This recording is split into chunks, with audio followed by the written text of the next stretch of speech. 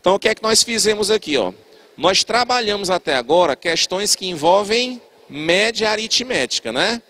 Existe um tipo de média que também costuma cair na prova do Enem, que é a média ponderada. O que é que significa média ponderada? Vou mostrar aqui para vocês um exemplo que não está igual, eu acho que não está igual na apostila não, não sei, tá? Mas assim, é um exemplo que é bem simples. O texto diz assim, ó, não precisa copiar.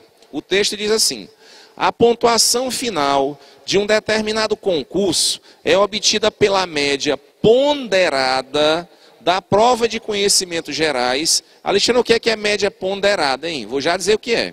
Então, a pontuação final de um determinado concurso é obtida pela média ponderada da prova de conhecimentos gerais com peso 3 e da prova de redação com peso 2. Nessas condições, qual é a pontuação final de um aluno que obteve 162 pontos na prova de conhecimentos gerais e 147 na prova de redação.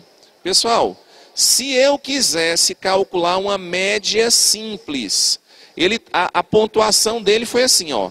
Conhecimentos gerais, 162 pontos. Redação, 147 pontos. Se eu quisesse calcular uma média simples, o que é que eu tinha que fazer? Se eu quisesse calcular uma média aritmética, o que é que eu faria? somaria os dois e ia dividir por quanto? Por dois, não foram duas provas, né? Acontece que nessa questão não pode ser assim. Por quê? Porque o enunciado disse que a prova de conhecimentos gerais tem peso 3 e a prova de redação tem peso 2. Pessoal, o que é esse peso? Peso é a quantidade de vezes que aquela nota vai ser contada. Então, quando você diz que você vai fazer uma prova e a prova tem peso 3, é porque aquela nota vai ser contada três vezes.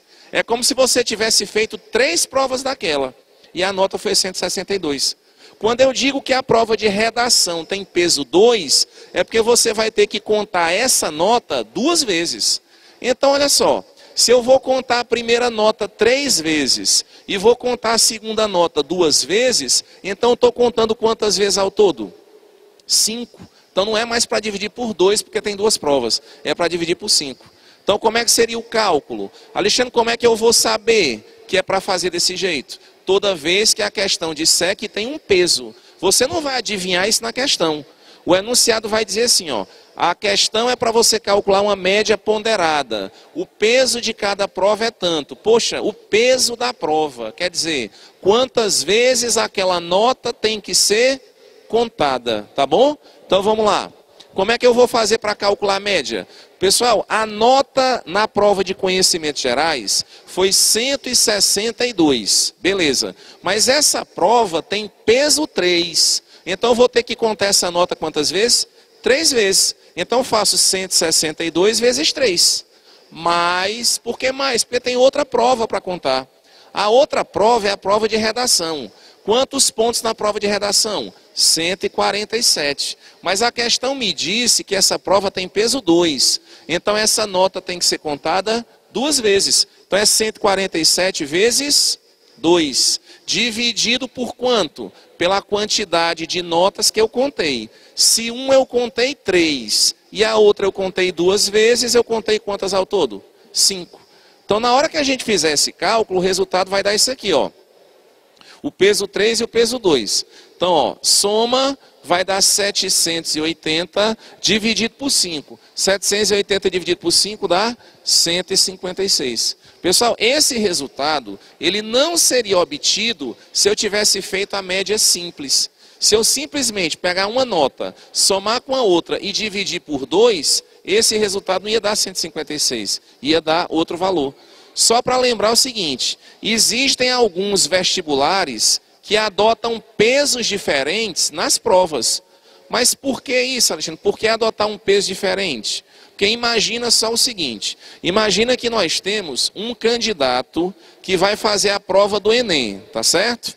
A prova do Enem tem todas as matérias, não tem? Mas aí tem um candidato que vai fazer para, vai tentar vestibular para medicina. E tem outro candidato que vai fazer vestibular para direito. Pessoal, uma pessoa que vai fazer, aliás, vamos pensar assim, que é até mais fácil. Um vai fazer para medicina e outro vai fazer para engenharia, por exemplo. O aluno que vai fazer para medicina, supõe-se que ele tem um conhecimento mais elevado em que disciplinas? O cara tem que saber tudo, quem vai fazer medicina, né? É lógico. Mas assim, supõe-se que quem vai para a área de saúde tem que ter um conhecimento maior em que área? Na parte de química e biologia. Então, existem vestibulares e existem universidades que dizem o seguinte, ó, todo mundo vai fazer a mesma prova, mas para o cara que vai fazer para medicina, a questão dele de química e de biologia vai, fazer, vai valer mais. É a mesma questão do outro? É, mas para ele vale mais. Já para o cara que vai fazer engenharia, a prova que vale mais não é a química e biologia, é a física e a matemática. Então, assim, todo mundo fez a mesma prova mas as provas vão ter pesos diferentes dependendo do curso que você escolher. Então isso aqui que a gente está colocando não é uma coisa absurda de acontecer não, é até relativamente comum, tá certo? Pronto. Para que, que eu comentei isso? Para que a gente tenha condição de resolver agora a questão de número 4. Questão de número 4, quando foi que caiu? Prova do Enem do ano passado. Olha, é, é, essa aqui, só de média, é a segunda questão da prova do ano passado. Tem mais questões de estatística? Tem. Tem seis questões de estatística. Só que tem algumas que falam de gráfico, que a gente vai estudar depois. Fez? Então, olha só. A questão 4, ó. Ao final de uma competição de ciências em uma escola, restaram apenas três candidatos. De acordo com as regras, o vencedor será o candidato que obtiver a maior média ponderada entre as notas das provas finais, nas disciplinas de Química e Física, considerando respectivamente os pesos 4 e 6. Pessoal, se tem peso, cada prova vai ser contada só uma vez? Não, uma vai ser contada quatro, outra vai ser contada seis vezes. Aí a questão diz, né? O que mais? As notas, aí eu queria que vocês marcassem isso no texto, ó. Essa parte aqui, ó. As notas são sempre números inteiros as notas são sempre em números inteiros. Por questões médicas, o candidato 2 ainda não fez a prova final de química. No dia em que sua avaliação for aplicada, as notas dos outros dois candidatos, em ambas as disciplinas, já terão sido divulgadas. O quadro apresenta as notas obtidas pelos finalistas nas provas. Aí a pergunta é o seguinte, está aí o quadro. A pergunta é: qual é a menor nota que o candidato 2 deverá obter na prova final de Química para vencer a competição. Então vamos analisar aqui a tabela. O que é que eu estou vendo nessa tabela? Os três candidatos, candidato 1, 2 e 3, e estou vendo também a nota de cada um deles, na prova de Química e na prova de Física. Tá certo? Minha gente, me diz o seguinte: o candidato de número 1, eu já consigo calcular a média dele? Presta atenção na tabela. O candidato de número 1, eu consigo calcular a média dele? Consigo. Porque eu sei a nota na prova de química e eu sei a nota na prova de física. Se eu já sei as notas, dá para calcular a média. O candidato de número 3, dá para calcular a média dele? Dá porque eu sei a nota dele de química e sei a nota dele de física. Então eu sei calcular a média. Agora, o candidato 2 é que eu não sei ainda a média, porque ele não fez a prova de química. E aí, qual é a pergunta da questão? A pergunta da questão é o seguinte: qual é a nota menor que ele precisa tirar para que esse candidato 2 seja melhor do que os outros? Ele tem que ser melhor do que um e melhor do que o 3. Então, o que é que eu vou ter que fazer? Primeiro, eu vou ter que fazer o cálculo da média de cada um, tá? Então, vamos fazer o seguinte, ó. Vamos anotar aí, ó. O candidato de número 1, um, só o primeiro, a prova de química, pelo que o texto diz, tem peso 4.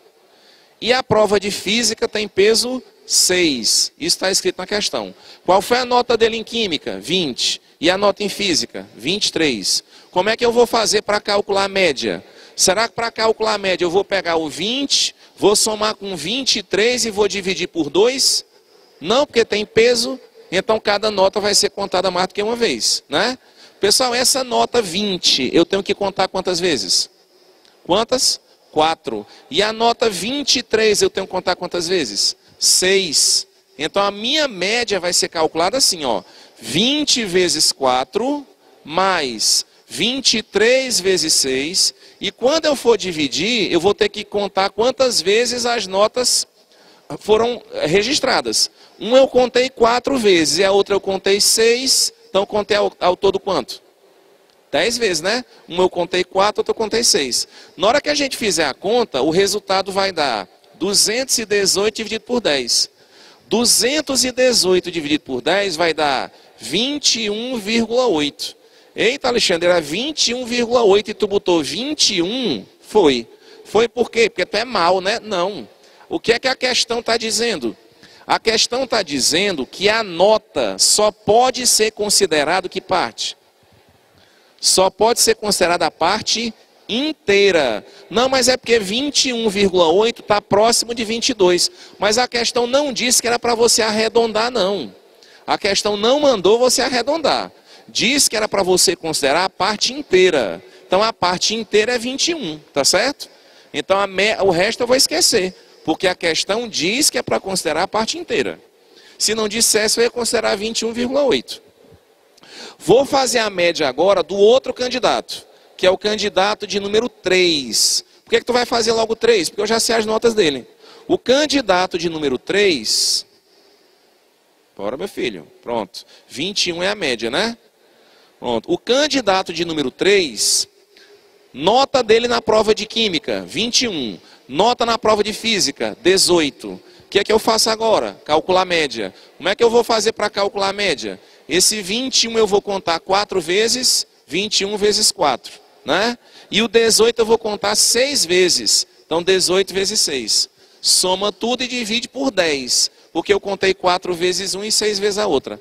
Na hora que eu fizer o cálculo, o cálculo dá 192 sobre 10, que é 19,2 mas é para considerar só a parte inteira. Então, se é para considerar a parte inteira, quanto é que eu tenho que considerar? 19. Pessoal, só para a gente relembrar aqui. Eu já fiz a média do primeiro e do terceiro, não fiz do segundo ainda. Fiz do primeiro e do terceiro. Qual foi a média do primeiro? A gente acabou de fazer, a média do primeiro foi 21. Qual foi a média do terceiro? 19. Entre os dois, quem é melhor? O primeiro, né? Porque o primeiro tem média 21 e esse aqui tem média 19. Está faltando ainda o segundo candidato. Só que o enunciado pediu que o segundo candidato fosse melhor do que os outros. Pessoal, para que o segundo candidato seja melhor do que os outros, a média dele tem que ser maior do que quanto? Tem que ser maior do que 21. Não tem que ser maior do que 19. Não, 19 não. Ah, mas esse aqui não tem média de 19? Tá, mas comparando o primeiro com o terceiro, o melhor é o terceiro. Aliás, o melhor é o primeiro, né? E eu pedi que o segundo candidato fosse o melhor de todos.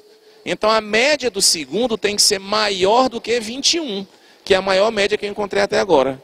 E como é que eu vou fazer para calcular a média do segundo? Igual como eu fiz do primeiro e do terceiro. Qual foi a nota dele de química? Não sei. Eu vou chamar de X a nota. Mas eu vou ter que contar essa nota quantas vezes? quatro vezes. A nota em física foi 25, eu vou contar 6. Quando eu for fazer o cálculo da média, fica assim, ó. 4 vezes x, porque o x vai ser contado 4 vezes, né? 4 vezes x, mais 25 vezes 6, isso aqui tudo dividido por 10. Porque tem 4 da primeira e 6 da segunda. O peso, né? Dividir por 10. Pronto. Esse resultado vai ficar 4x mais 150. Isso aqui tudo dividido por 10. Isso aqui é a média dele. Mas agora, pessoal, essa média, pelo que o texto pede, ela precisa ser maior do que quanto essa média? Essa média tem que ser maior do que 21. Então vou botar que essa média precisa ser essa aí, ó. Precisa ser um número maior do que 21. Pronto. Só tem uma variável para calcular, que é o x. O que, é que eu vou fazer? Vou multiplicar de novo, cruzando para determinar o valor do x. Tá certo? Como a média tem que ser maior do que 21, vamos lá. Na hora que eu multiplicar, o resultado vai ficar assim, ó. 4x mais 150 repete, e do outro lado fica 10 vezes 21, que dá 210. Então fica assim, ó. 4x mais 150 maior do que 210. O 150 que está de um lado passa para o outro. Quanto é que é 210 menos 150? 60. Então fica 4x maior do que 60. 4x maior do que 60 significa dizer que o x tem que ser maior do que 60 dividido por 4. Quanto é 60 dividido por 4? 15. Resumindo, pessoal, para que o segundo candidato, para que o segundo candidato seja o melhor entre os três, ele precisa tirar uma nota que seja maior do que quanto? Ele tem que, ser, ele tem que tirar uma nota maior do que 15. A média dele tem que ser maior do que 21. Mas esse X que a gente está encontrando não é a média. Esse X é a nota dele na prova de química. A nota dele precisa ser o quê? Maior do que 15. Se a gente olha as opções, tem alguma opção que apresenta um resultado maior do que 15? Vamos olhar as opções. Tem alguma opção em que a nota é maior do que 15? Tem todas. Ah, então todas as opções são verdadeiras? Não. Não, porque o que é que o texto pede? O texto pergunta o seguinte: qual é a menor nota que ele precisa tirar? Pessoal, então dessas aí, qual é a menor nota? Tem que ser a menor nota, mas que seja maior do que quanto? 15. Então dessas, qual é a menor nota que é maior do que 15? 18. Então a resposta certa, letra qual? Letra A. Resposta da questão número 4, letra A. Beleza? Entenderam essa? Pronto. Pessoal, anotem a resposta que é a letra A. Eu vou ver mais dois conceitos com vocês que são bem rapidinhos, tá certo? Para a gente encerrar essa parte da, da estatística. Que conceitos a gente precisa ver? A gente já viu média, não foi? Está faltando a gente ver mediana e moda, que são conceitos simples. O que é que a gente chama de mediana de um conjunto de valores? Isso, isso que eu estou escrevendo já está na apostila de vocês. Pessoal, mediana é o valor que ocupa a posição central de um conjunto de valores colocados em forma crescente ou decrescente. Explica de novo aí, Alexandre, como é? Seguinte, suponha que eu te dê um conjunto de valores. Como é que a gente calcula a média do conjunto de valores? Soma tudo e divide pela quantidade de valores que tem. É assim que eu calculo a média. Como é que eu calculo a mediana? É o conceito que a gente vai ver agora. Pessoal, para calcular a mediana de um conjunto de valores, você tem que fazer duas coisas para calcular a mediana. Qual é a primeira coisa? Pegar os valores e colocar os valores em ordem. Ordem o que? Crescente ou decrescente, tanto faz. Depois que você colocar os valores em ordem, você vai ver qual é o elemento que está no meio da distribuição. O elemento que tiver no meio, a gente chama de quê? De mediana. Certo? Então a ideia de mediana é encontrar um elemento que consegue dividir o conjunto em duas partes iguais, que consegue dividir no meio. Tá, vamos para um exemplo numérico. Vamos lá. Pessoal, existem duas situações possíveis para a gente fazer o cálculo da mediana. A primeira situação é o seguinte: pode ser que a quantidade de valores seja uma quantidade par e pode ser que a quantidade de valores seja uma quantidade ímpar. Eu vou ver os dois casos. Primeiro caso, a série tem um número ímpar de termos. Pessoal, se a quantidade de elementos for uma quantidade ímpar, você calcula a mediana assim. Pega os elementos, coloque em ordem e procura o elemento que está no meio. O elemento que tiver no meio é a mediana. Vamos para a prática, como é? Se eu perguntar assim, ó, calcule a mediana dessa série. Olha os valores que eu estou te dando. 1, 3, 0, 0 e 2. Eu quero calcular a mediana. Cuidado para não fazer besteira. Mediana é calcular o valor que está no meio. Mas para calcular esse valor, primeiro eu tenho que colocar os elementos em ordem. Esses elementos estão em ordem? Não. Então o que é que a gente vai fazer? A gente vai colocar os elementos em ordem. Colocar em ordem significa montar o rol. O que é que significa rol na matemática? É você pegar os elementos e colocar os elementos em ordem. Colocando os elementos em ordem, primeiro eu vou colocar o zero, depois outro zero, depois é um, depois é dois, depois é três. Tá tudo em ordem agora ou não? Tá ou não tá, galera? Tá. Se os elementos estão em ordem, agora eu vou procurar o elemento que está no meio da distribuição. Qual desses elementos está no meio? Não é o número 1? Quem está no meio é o número 1. Então, esse elemento representa a mediana da distribuição. É só isso? É. É colocar em ordem e procurar o elemento que está no meio. Não tem como errar, não. Tá bom? Tem outro caso da mediana, e se a quantidade for ímpar. Escreve tudo, procura o elemento que está no meio. Se a quantidade de elementos for uma quantidade ímpar. E se a quantidade de elementos for uma quantidade par? Bem, se a quantidade for par, você vai colocar em ordem, mas aí quando você coloca, pega uma quantidade par, não vai sobrar um elemento no meio. Então você pega os dois do meio para tirar a média. Vamos ver como é que funciona. A pergunta é: calcule a mediana dessa série. 1, 3, 0, 4, 0 e 2. Como é que eu vou fazer para calcular a mediana? Primeiro eu vou ter que organizar os elementos. Colocar em ordem crescente ou decrescente, do jeito que você quiser. Eu vou colocar, tanto faz a ordem, eu vou colocar em ordem crescente, do menor para o maior. Então vai ficar 0, outro 0, depois o 1, um, depois o 2, depois o 3, depois o 4. Coloquei em ordem? Coloquei. Quantos elementos tem ao todo? 6. Pessoal, se eu quero dividir ao meio e tem 6, vai sobrar 3 para um lado e 3 para o outro. Oh, mas 3 para um lado e 3 para o outro não sobrou ninguém no meio. Então como é que eu calculo a mediana? Você pega os dois do meio. Então eu vou pegar os dois elementos do meio e vou tirar a média entre eles. Então você faz assim, ó.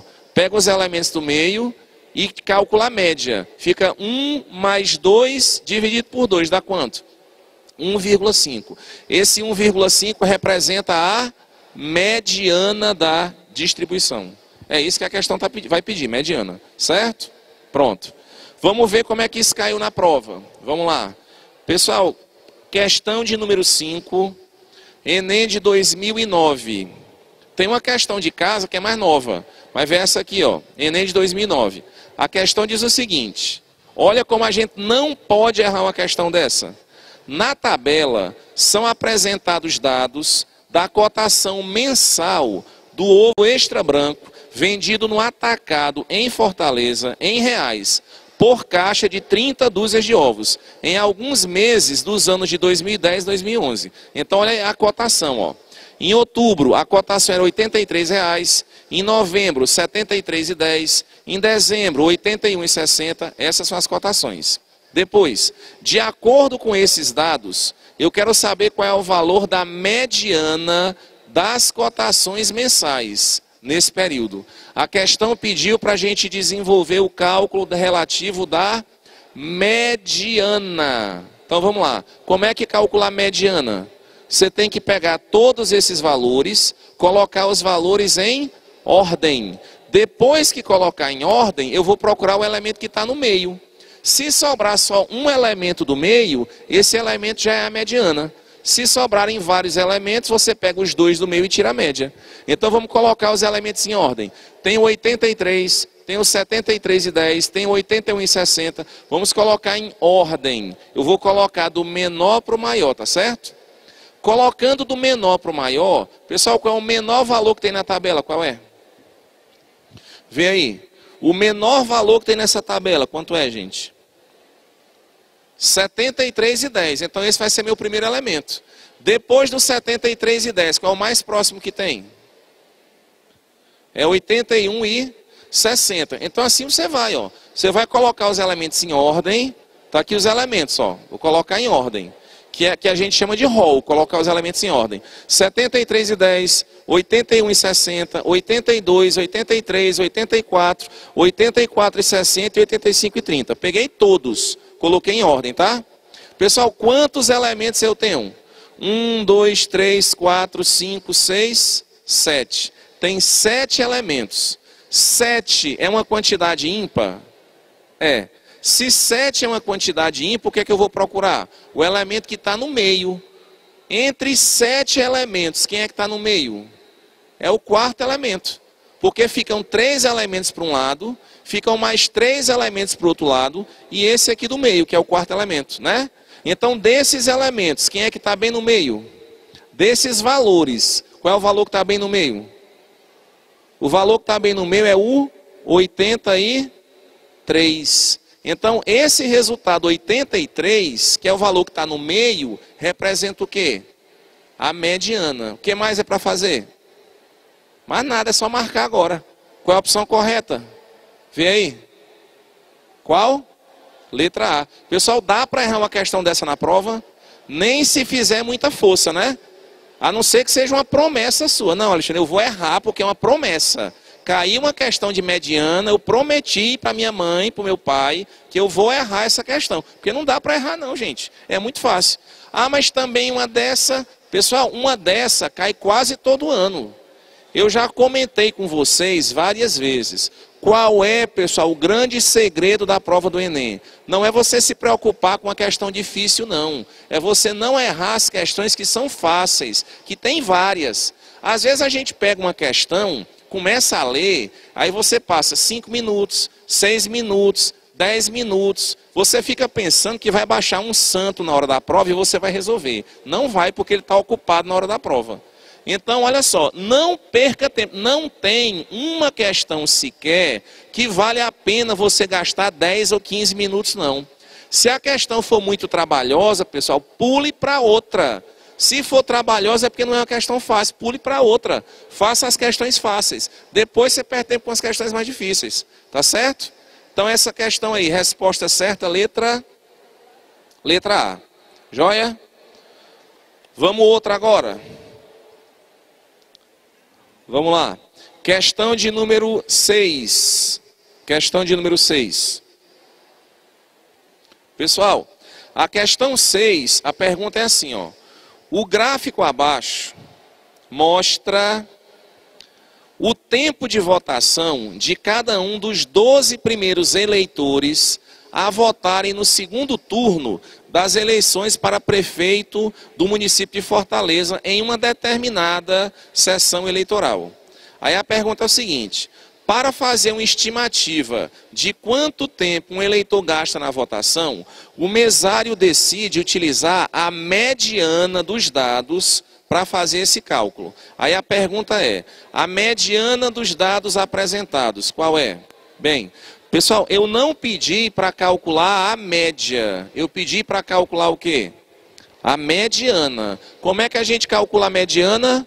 A gente pega todos os resultados, coloca os resultados em ordem crescente ou decrescente. E depois a gente procura o elemento que está no meio. Se só tiver um elemento no meio, felicidade total. A mediana é aquele elemento, acabou. Se forem dois elementos, e isso só acontece quando a quantidade é par, se forem dois elementos, tira a média dos dois. Faça do mesmo jeito, tá certo? Então vamos lá. Pessoal, o primeiro eleitor, lá embaixo tem assim, ó, eleitor, tá vendo lá embaixo? E na vertical tem assim, ó, o tempo gasto para votar. O primeiro eleitor, primeiro, demorou quantos segundos? Doze. O primeiro eleitor demorou 12 segundos para votar. O segundo eleitor demorou quanto tempo? Tem que olhar na tabela de vocês. O segundo eleitor, não está lá em cima o pontinho associado a ele? Então vamos lá, mas eu vou dizer para vocês, é 32. Certo? O terceiro levou quanto tempo? 14. O quarto levou quanto tempo? 14 também. Alexandre, como é que eu vou fazer essa questão? Você vai ter que anotar isso aí que eu estou colocando.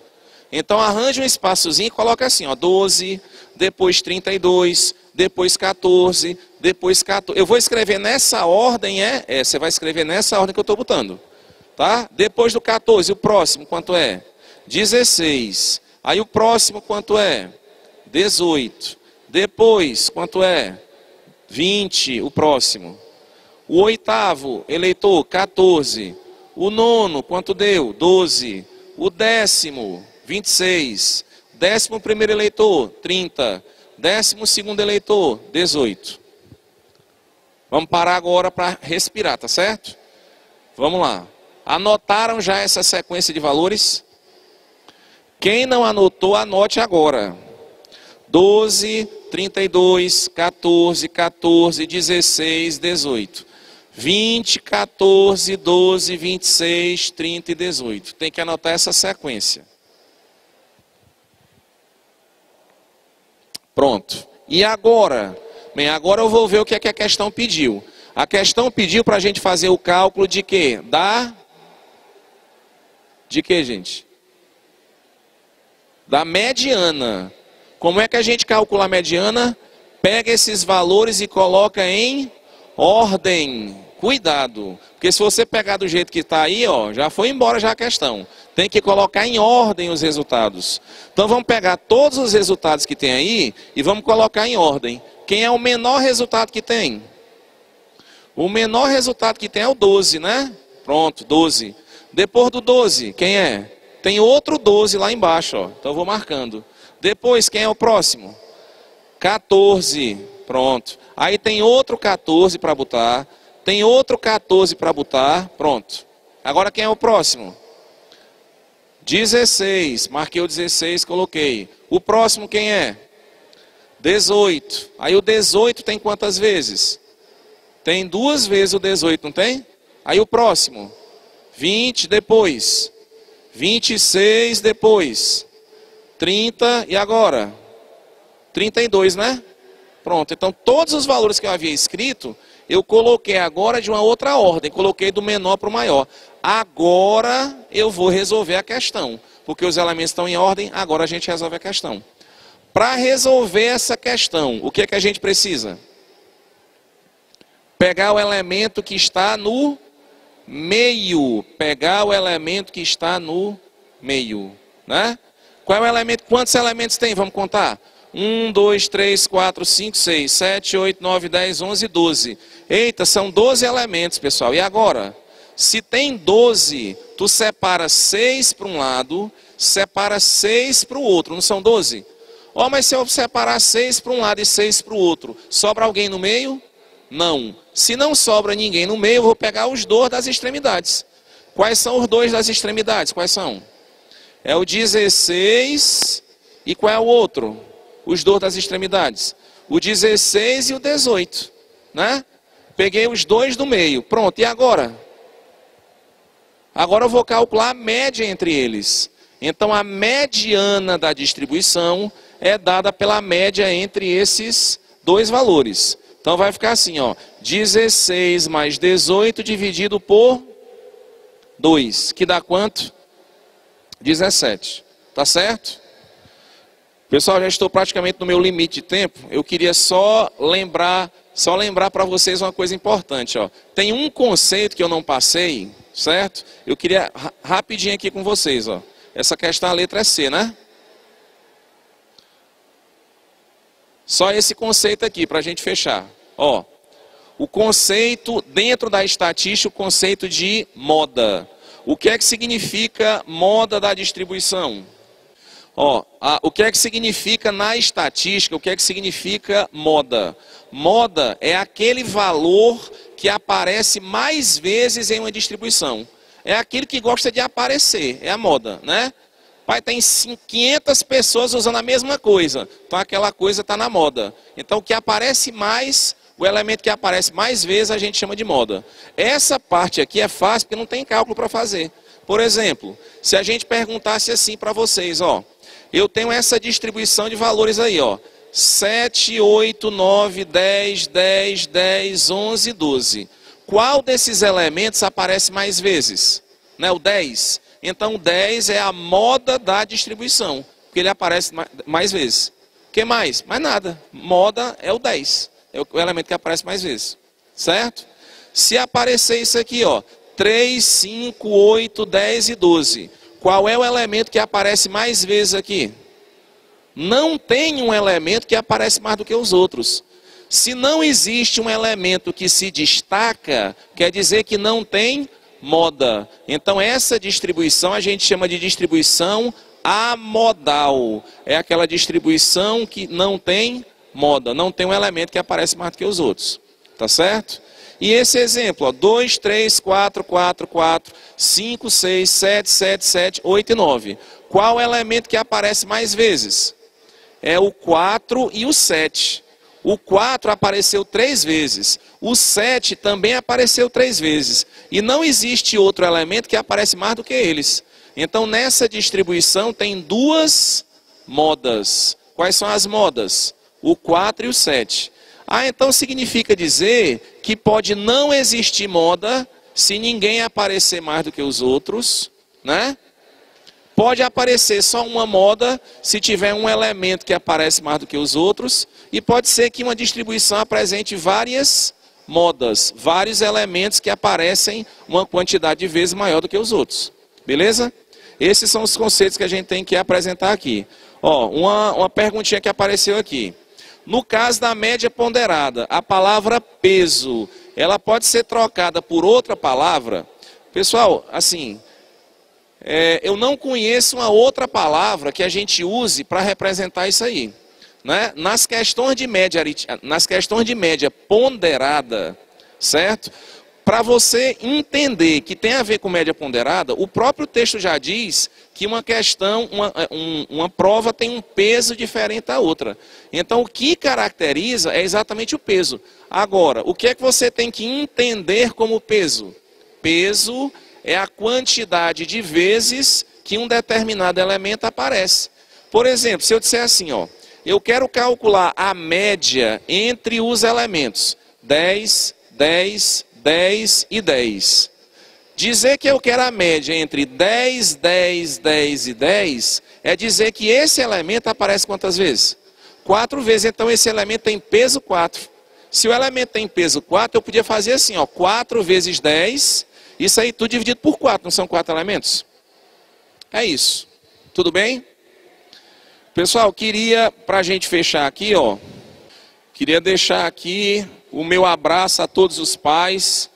E aí eu me incluo também nesse rol, né? E pessoal, lembrar o seguinte: nossos verdadeiros amigos são nossos pais. Valorizem enquanto a gente tem pai, enquanto a gente tem mãe. Valorizem. Isso é uma coisa importante na vida da gente. Tá certo? Pessoal, um grande beijo, um grande abraço para vocês. Vou voltar aqui, já marquei com o Fábio, eu acho que na última semana, certo? Só para dar aquele gás, eu quero ver todo mundo feliz aqui e todo mundo pronto para passar. No último dia, no último dia que a gente tiver aqui, certo? Eu quero ver todo mundo aqui, tá certo? E aí a gente vai dar um abraço em todo mundo e vamos para frente. Tchau, tchau, gente. Professor Márcio, por favor. Tchau, tchau.